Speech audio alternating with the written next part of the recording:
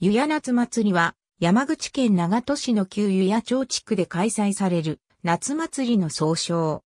特に2001年からは湯屋町商工会青年部が内容を一新させ、響き園祭とのサブタイトルをつけて盛況になり、テレビ山口のローカル番組、ちぐまや本舗、週末ちぐまや家族が取材に来るようになった。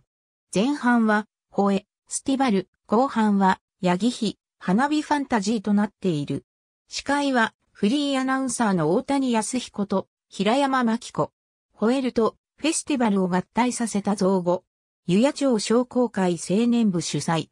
毎年7月に、旧湯屋町内の小中学校と、ラポール湯屋、ルネッサ長門で予選会を行い、8月に本戦ということで、ステージの上で叫ぶ。叫ぶ内容は自由。声の大きさがそのまま点数となる。